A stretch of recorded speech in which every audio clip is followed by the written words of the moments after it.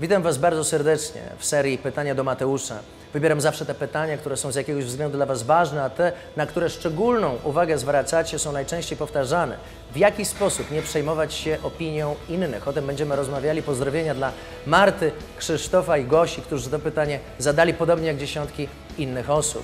Jeżeli znajdziesz kogoś, kto się nie przejmuje opinią innych, to prawdopodobnie będzie to na cmentarzu. Ten ktoś od dawien dawna nie żyje.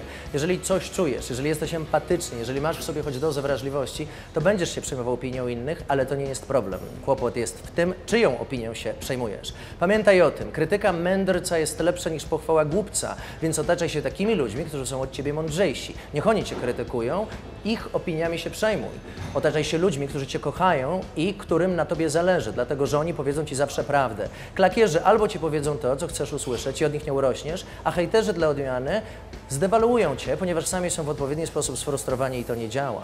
Musisz wziąć pod uwagę, że nie przejmowanie się opinią innych nie jest rozwiązaniem. Rozwiązaniem jest zdanie sobie sprawy z tego, że w momencie, gdy przestajesz być normalny w szeroko pojętej normie i zaczynasz więcej zarabiać, zaczynasz mieć lepsze relacje, zaczynasz być bardziej inteligentny, to automatycznie układ, który zawsze zmierza do równowagi, będzie cię ściągał w dół. Wyobraź sobie sytuację, w której jesteś super atrakcyjna, wyglądasz jak milion dolarów, schudłaś, jesteś szczęśliwa, zadowolona, piękność ciebie promienieje. Idziesz po ulicy, jakaś kobieta na ciebie patrzy, po czym zwraca uwagę, że ty się podobasz jej mężowi bardziej niż on na nią zwraca uwagę, bo on ma taki błysk wokół, jakiego ona nie widziała od dawien dawna. I co? Myślisz, że ona w tym momencie uzna, wow, to ja ciebie zmodeluję, będę chodziła tak jak ty, tak będę mówiła i to mu się spodoba?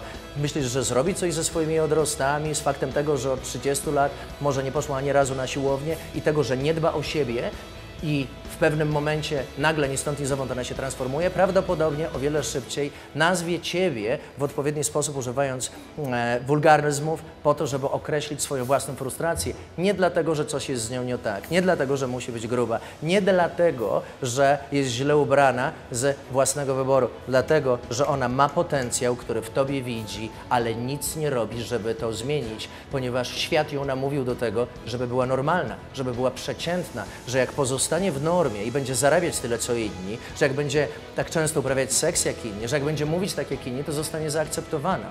Świat sukcesu nie jest dla każdego i nie pod kątem teoretycznym, bo z tym nie ma problemu, ale pod kątem praktycznym. Większość ludzi będzie się przejmowała opiniami innych i prawdę mówiąc, będą się tak przejmowali, że przestaną realizować swoje własne plany i marzenia. Spójrzmy prawdzie w oczy. Ty nie jesteś normalny. Nikt nie ma takiego DNA jak ty. Nikt nie ma takiej struktury siatkówki jak ty. Nikt nie ma takich linii papilarnych jak ty. Nikt nie nazywa się nawet tak jak ty. Nie ma takiej historii osobistej jak ty. Ty jesteś niepowtarzalny. Ty nie zostałeś stworzony do tego, żeby być klakierem, żeby być hejterem, żeby być tacy jak inni. Ty zostałeś stworzony do tego, żeby świecić. A możesz świecić tak jak ryba w wodzie, tak jak na drzewie, tak jak żyrafa na sawannie, tylko i wyłącznie w odpowiednim środowisku, z odpowiednimi osobami, robiąc i mówiąc odpowiedniego rodzaju rzeczy. Ja nie konkuruję tam, gdzie nie mogę wygrać, w związku z czym nie zabieram się za sytuacje, w których nie mogę być najlepszą wersją siebie. Oto więc ja jestem sobą. Czy sądzisz, że każdemu się to spodoba? Nie, na litość boską. Ja już dawno przestałem szukać akceptacji na zewnątrz, bo stwierdziłem, że nigdy jej tam nie znajdę. Znalazłem te rzeczy, które ludzie punktowali, zacząłem się zastanawiać, czy w jakiś sposób nie mają racji. A później się okazało, że jak czytasz jakiś komentarz na swój temat, najczęściej w internecie, to może się okazać, że jak znajdziesz trzy dowody, dla których ty się z tym zgadzasz, ale na swój własny sposób. Nie to, co oni mówią, tylko ty się z tym zgadzasz. Na przykład jesteś idiotą i znajdujesz trzy dowody, gdzie zachowałeś się w określony sposób idiotycznie. Ktoś mówi, że nie jesteś atrakcyjny i znajdujesz trzy dowody na to, że nie jesteś atrakcyjny, kiedy taki nie byłeś, a za chwilę znajdujesz przeciwwagę. Dlaczego jesteś również mądry i trzy dowody. Dlaczego również jesteś atrakcyjny i trzy dowody. I robiąc to ćwiczenie zaczniesz się powoli, ale systematycznie uwalniać. Chcesz sukcesu? Będą cię krytykowali. Wiesz co? Psy koty miauczą, a hejterzy hejtują. Przestań się tym przejmować i pamiętaj o tym, że istnieją badania psychologiczne, które pokazują, że inni mniej zauważają nasze błędy niż my sami. Prawdopodobnie jesteś jedyną osobą, która się tym przejmuje. Pamiętaj o tym, że w momencie, gdy będziesz lepiej wyglądał, gdy jako mężczyzna zbudujesz fajne ciało, to prawdopodobnie ktoś spojrzy na ciebie i nie uzna, że jesteś inteligentny, tylko że jesteś mięśniak. Pamiętaj o tym, że jak kupisz sobie super samochód, to inni stwierdzą, że być może to ukradłeś. Weź pod uwagę jeden prosty fakt. Sukces jest dla tych, którzy mają siłę z tym wytrzymać. Haters gonna hate. I nie zostaniesz zaakceptowany, pogódź się z tym, rób swoje i przestań się zastanawiać, czy świat uważa, że jesteś zielonym dolarem, który każdemu ma się spodobać. Bo nie jesteś, jesteś sobą. Masz się podobać wąskiej grupie osób, które kochasz, którym na tobie zależy, twoim klientom i osobom, przy których rośniesz. Bo taki jesteś, niepowtarzalny.